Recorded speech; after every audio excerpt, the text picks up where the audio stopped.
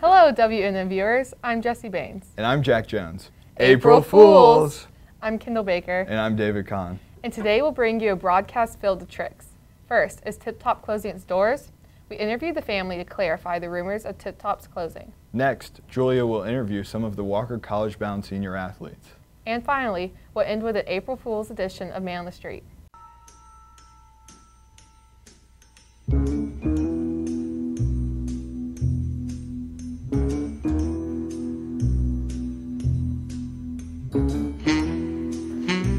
here to clear up the rumors. Is Tip Top closing? No, we're not. We're leasing the shop to a friend of ours. What made you decide to lease your shop? Um, we're pretty much burnt out. You know, we've been doing donuts over 30 years, so I think my parents are ready to retire. And what's next for you? Uh, I have no idea. I'm still early, so um, probably like maybe my liquor store or something. Catch him at your local liquor store.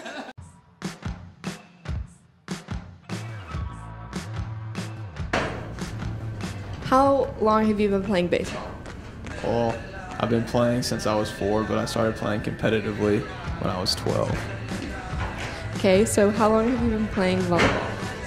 Um, since my eighth grade year.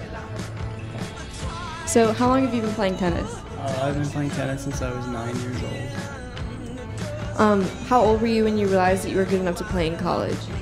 Probably around like, eighth grade or freshman year. Probably like my sophomore year, I decided that I liked it enough that I wanted to play in college, and then I joined a good enough club to where I could do that. Uh, around the age of 12 is when I really realized I was good enough to play in college. Well, how did your recruitment process go from there?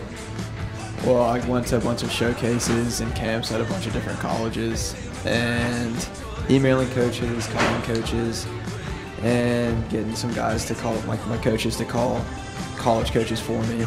And I just went from there. Um, getting recruited was like super hard, uh, just because like no one really helped me, and so it went poorly at first, but then it, we got a good result. So.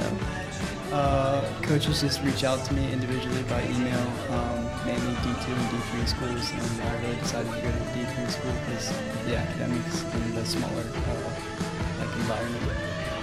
Do you know where you plan on playing next year? No, not yet, but I'm looking at three or four different schools locally because most of the schools I've gotten interest from already are all up north, and I don't want to go up north, so I'm looking local. Augusta University. Uh, I plan to attend uh, Berry College up in Rome, Georgia, to, to play tennis and to go to school, obviously. Say roast five times. Roast, roast, roast, roast, roast. How do you spell roast? R O A S T. Say roast three times. Roast, roast, roast. Say roast two more times. Roast, roast. What do you put in the toaster?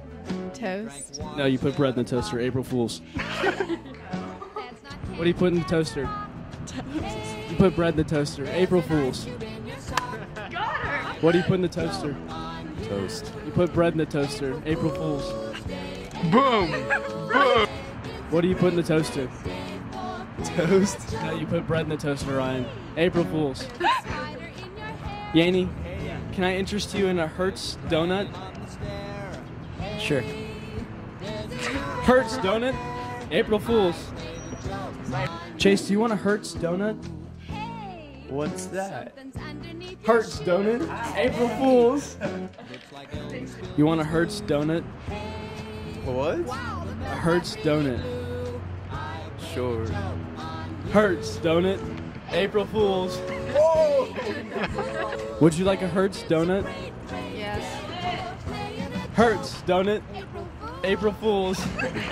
One. The other day I went to the doctor and they said I had snoo in my blood.